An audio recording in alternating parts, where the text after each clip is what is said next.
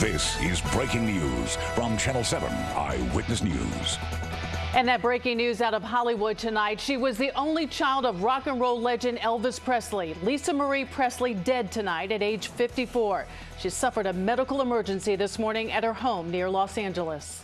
Tonight, the shocking news coming just hours after Lisa Marie Presley was rushed to a Los Angeles area hospital. She was being treated for what was believed to be cardiac arrest. Her mother, Priscilla, releasing a statement saying, It is with a heavy heart that I must share the devastating news that my beautiful daughter, Lisa Marie, has left us. She was the most passionate, strong, and loving woman I have ever known. Just two days ago, the only child of Elvis Presley was seen on the red carpet at the Golden Globes. Interviewed by TV show Extra, asking for some help as she stood there being interviewed. You gotten to know Austin Butler a little bit? Yeah, I, I'm gonna grab your arm.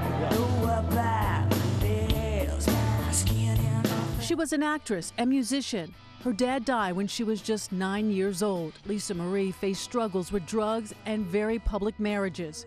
She was married four times including to Nicolas Cage and Michael Jackson. An awful lot of people have gathered here in front of the Trump Tower, hoping, I guess, to catch a glimpse of either Michael or Lisa Marie. In 2020, she opened up to talk about her grief following the death of her son, who died by suicide. She also made a point to help others, being involved in several humanitarian causes administered through the Elvis Presley Charitable Foundation.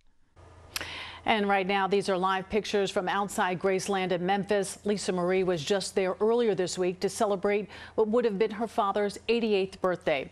The Presley family saying tonight they are, quote, profoundly grateful for the support, love, and prayers of everyone and ask for privacy during this very difficult time.